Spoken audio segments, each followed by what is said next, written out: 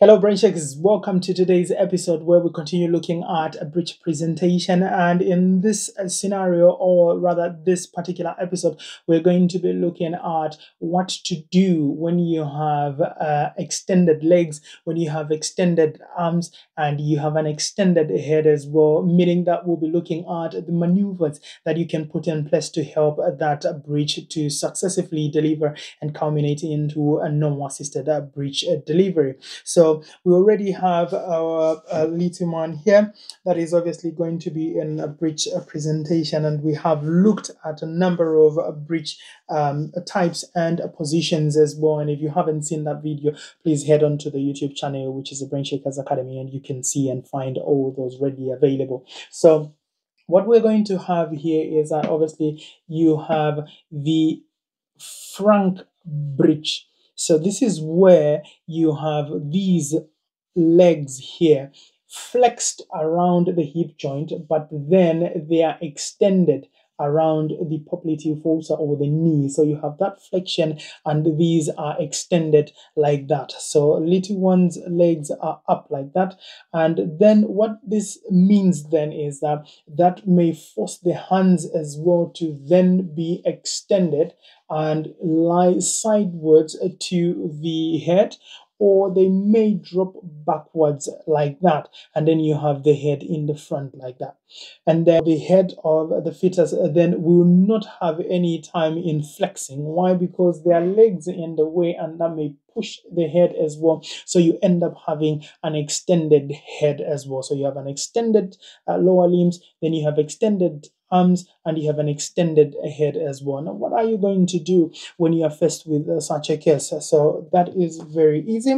We are going to have the um, right sacro anterior as a way of position that we're going to use for this particular session. So you have your pelvis there, and then you have this coming in through the right sacroanterior. And if it is coming through the right sacroanterior, then it has made all those movements, the mechanism of a breech uh, presentation or a breech a bed. I have done a separate video on that, so you can definitely look at that as well. So when you find that it comes around on this end, meaning that it has distended the perineum here, and then the legs do not deliver on their own, then it means that the legs could be extended legs, and then you have to employ your maneuver to go ahead and then deliver the legs. So before you even go ahead to do that, because those will be more or less internal maneuvers, you may evaluate on whether you need to actually perform an episiotomy there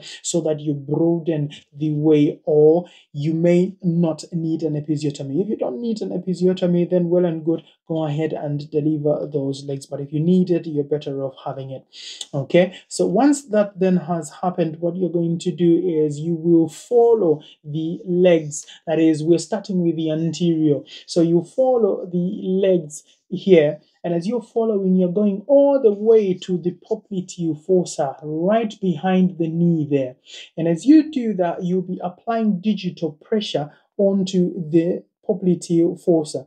Applying digital pressure onto the popliteal fossa is then going to help flex that leg. So meaning that you have to use your other finger now to actually grab that fetal limb like that and then that is going to then facilitate the delivery of that leg. So you have applied digital pressure into the popliteal fossa that then flexes that and then you go ahead and deliver that. So you would the same as well. Let me just keep this one off the way. So you do the same as well. Follow that leg down into the popliteal fossa here. Apply digital pressure on that end. That is going to force that little guy there to then flex. Then you use your other finger now to grasp that leg and then go ahead and deliver. And then it means that the legs would have been delivered. Now that maneuver is a maneuver that we call the Pinard's maneuver. It is a maneuver that is used to deliver extended legs Okay, so from there, all the mechanisms, all the movements and the steps are going to obviously happen, and then you get to a stage where now you have the shoulders right there, and you can see the scapula blades there and then the arms are not delivering on their own. If the arms are not delivering on their own it means that they are obviously extended arms and you need to go ahead and deliver. So what you're going to do now to deliver these arms you will need to obviously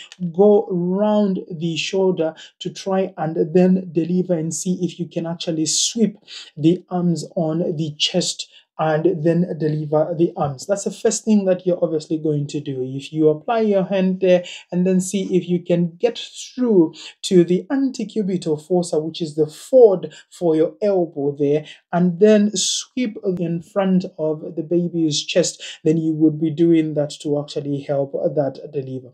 But then if their hands are folded all the way and they are extended, going all the way to the back of the fetal head here, then that may not be successful and it may be traumatic for the fetus because you may then go ahead and cause a brachial plexus injury that will culminate into a Klumpke's palsy or an Erb's palsy, and that's the least thing that you would want to cause on the baby. So if that then happens and you're unable to sweep the arms right in front of the chest of the baby, what you then employ is a maneuver that we call the Lovset maneuver. Now, the Lovset maneuver means that you will have to rotate this uh, baby whilst holding on the pelvic girdle here. So if you're holding on the pelvic girdle here, then you will be rotating this baby, meaning that what is the posterior arm here will have to come into the anterior aspect, and what is in the anterior aspect will have to go into the posterior aspect. So, meaning that as you hold on this end here, so I turn this little one like that, and then you have that. So, I'm using one hand here, but what you need is basically two hands, and you're applying the thumb on the back aspect here. You're not holding on the abdomen because that will be traumatic to the fetus. And then all you do is right around the pelvic girdle, the bony part here, you have your hand on this end and the other hand also on this end. You then try and rotate this baby like that. And when you do that, that means that what was the posterior now becomes the anterior, and what was anterior now becomes the posterior. Then you can go ahead again, follow it through over the shoulder, see if you can actually get through to the antecubital fossa to then sweep that arm through the chest and then deliver it. In most cases, when you just do that rotation with some bit of downward traction, the arm itself, during just that rotation, is going to force the arm to actually fall on itself, then reducing that by sacromium diameter there. And then you find that as you rotate back the fetus in the other anti-clockwise direction, then it is going to deliver the other arm. If that doesn't happen, then you have to go ahead push your fingers on top of the shoulder, get to the antecubital fossa there, and then you will sweep that arm in front of baby or through the chest and then deliver that arm. It means that what was the posterior now came into the anterior and has been successfully delivered.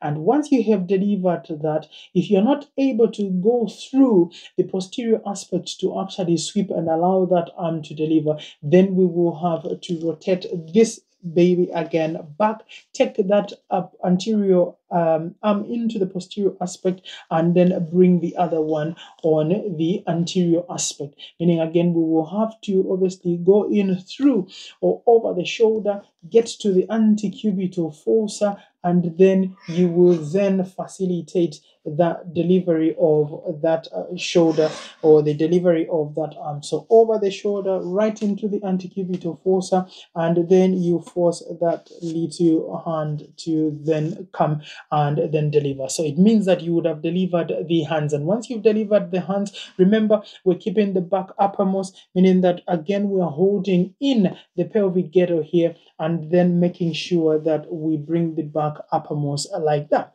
And once that has happened, then we'll be waiting for that head to obviously spontaneously deliver.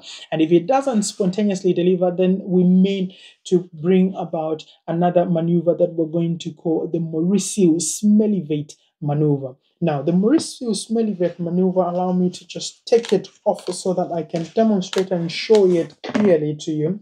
What you're obviously going to be targeting here is the bony part. You have malar bones here, closer to the zygomatic bones, the malar bones here, and then you have the mouth on the other end. So what you're going to be doing is the hand that then goes down in the posterior aspect. Will aim to actually hold little one like that, meaning that you're holding on not just the soft tissues here, but you're holding on the harder aspects so that when you do this, you hold this end, and then the other hand on the upper part is going to then be applying digital pressure on the occiput to then help flex the head because the flexing of the head is going to facilitate the smaller diameters, which is the suboccipitobregmatic, the 9.5 centimeters diameter, to then be the one that will then distend the perineum, and then this baby is obviously going to be born. So that is how you're going to be doing your Smellie Veit's um, maneuver, your Mauriceau Smellivates maneuver.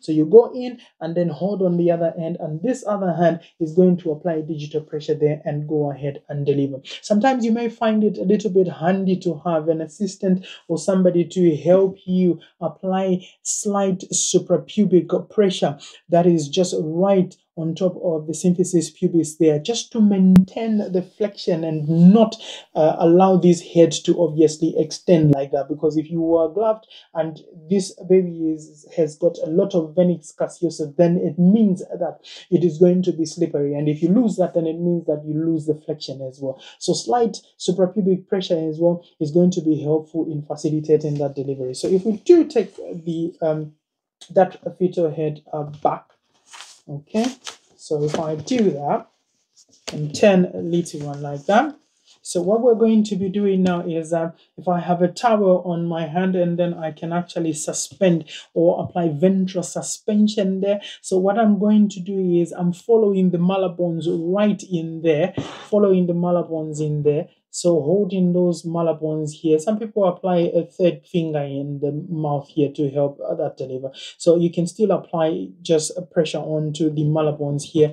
And then the other finger here is going to be applying digital pressure on this end. That is going to then cause the flexion of this head and allow the delivery of that uh, fetal head, meaning that now the sinciput, the uh, nostrils, and the mentum will then be allowed to sweep the perineum and then you deliver that little one straight onto the mother's abdomen. So that is how you would then be delivering that extended uh, breech uh, presentation. So you have the Pinard's maneuver for the extended legs, you have the Lovset maneuver for extended arms, and you have the Mauriceau Smellie Veit's as well for the extended uh, head. So you also have other maneuvers that you can obviously employ. There's another maneuver that is called the Burns Marshall. The Burns Marshall maneuver is just where once the head is almost in delivery, uh, being delivered, then you would be holding the uh, fetal legs that is away from the mother's body and then just